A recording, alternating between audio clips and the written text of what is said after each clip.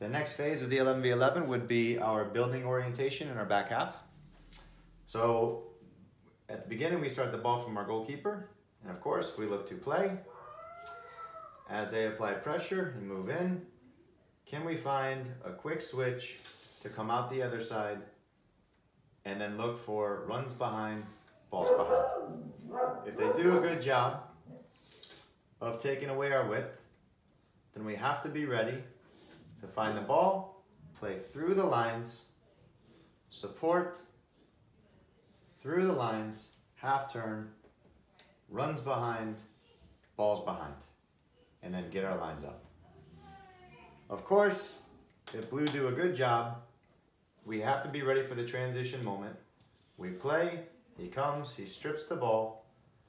Instead of running out, what we want to do is we want to narrow in, narrow in, drop, and force these players here to down press and get in an area underneath the ball to provide team compactness. In this moment,